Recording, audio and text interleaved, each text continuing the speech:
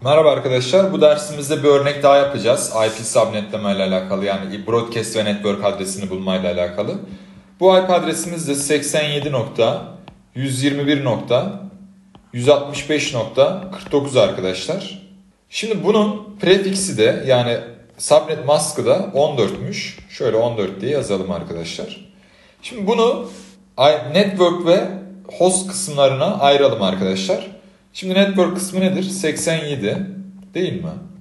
0, 1, 1, 1, 8 tane buradaydı. 6 tane olması lazım. 4 tanesini yazdım. 6 taneyi buraya ekledim arkadaşlar. Tabii şurayı silelim. Şurası 0 olacak. 1, 0 şeklinde yazıyorum. Şimdi şu rengi değiştirelim. Şimdi sonrasında şöyle 0, 1 nokta 1, 0, 1, 0, 0, 1, 0, 1 şeklinde bir host var arkadaşlar. Diğer tarafında ise diğer 49'luk kısmı ise 0, 0, 1, 1, 0, 0, 0, 1 şeklinde.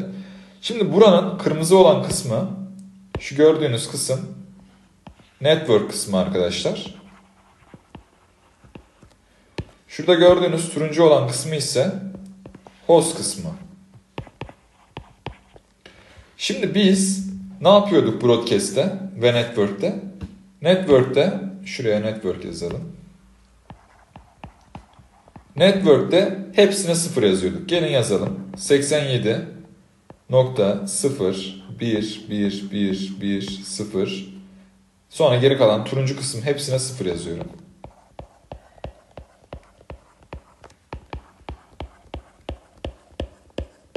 Evet sıfırları yazdım. Şimdi bunun eşiti ne oluyor arkadaşlar? Bunu eğer binary, binary'den desimale dönüştürürseniz 87 nokta şöyle sileyim şurayı yine yanlış yazdım. 87 nokta 120 nokta 0 0 olacaktır arkadaşlar. Peki broadcast adresi ne oluyordu? Broadcast adresi ise pardon. Şurayı silelim. Broadcast adresi ise Hepsine 1 yazdığımızda 87.01111 sıfırın yanına şu turuncu olan yerlerin hepsine 1 yazıyorum arkadaşlar. 1 1 yazdım.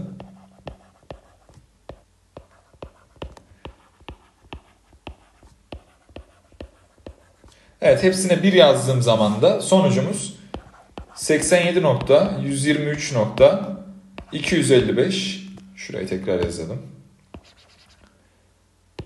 87 nokta 123 nokta 255 nokta 255 oluyor arkadaşlar sonucumuz. Şimdi peki ilk IP adresi ne olur? 87 nokta 120 nokta 0 1 olur. Son IP adresi ne olur? Son IP adresimizde tabii çok iğrenç bir yazım var. Son IP adresimizde 87.123.255.254 olur arkadaşlar.